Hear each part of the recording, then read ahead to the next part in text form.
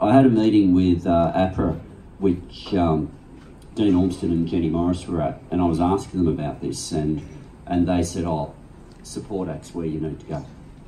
Uh, so when we were when we were doing the announcement part with Support Act, uh, we yeah we promised yeah I'll do the the money bit, but it's not the story bit's what matters, but the money bit helps enable it. So we've committed two hundred thousand to lift the mental health uh, provision of that helpline.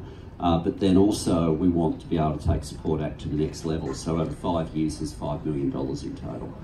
Um,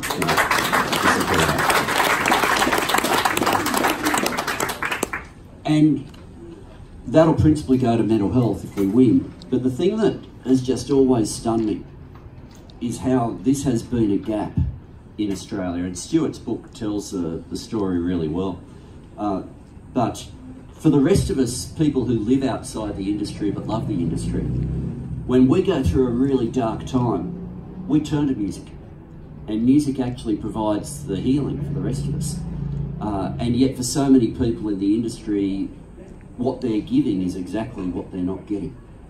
And so, we want to make sure that our music's always a soundtrack to life in Australia. Uh, that means we need our venues, it means we need our festivals, it means we need our music being played on our radios, we need our artists and everyone in the industry having a real, a real uh, career, having a real income, having a decent workplace. All of that needs to come together. And ultimately, out of that, you get a nation where people grow up hearing their stories, hearing their accents, hearing their music, and that then is something they turn back to their whole life. Uh, that's at risk. We want to protect it. We can't protect it properly unless we're helping the organisation that protects you. That's why we're backing Support Act.